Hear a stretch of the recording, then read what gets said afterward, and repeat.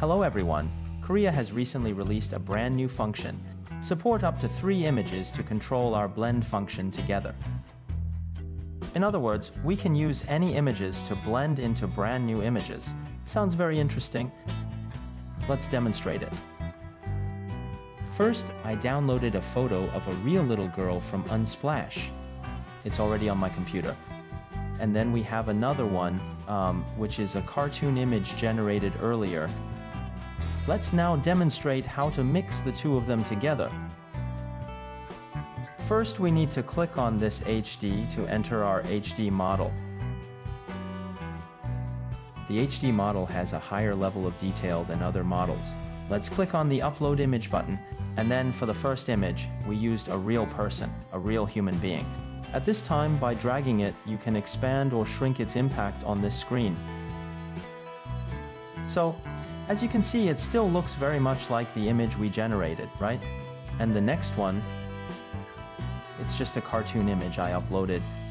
So if you drag the number on this side, this allows us to expand or reduce the impact of this image on the final effect we generate. And it can be seen that basically what we generate is a real-time effect. That can be said to be very flexible. So with this feature, we can instantly blend any photo we like with the style we want and easily adjust. In the field of AI-generated images, adjustment is very difficult. We have introduced many AI tools. So Krea has done a pretty good job in this regard. It is in many aspects of this adjustment, on the whole, extremely powerful.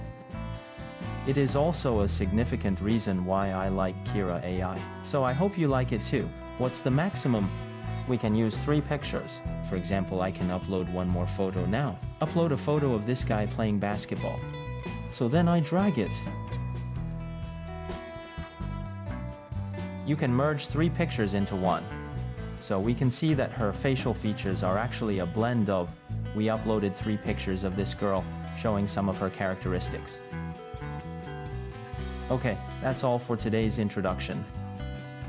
This is a new feature released by Krea today. We are also giving you a little demonstration at the first time. Hope you like it. See you next time.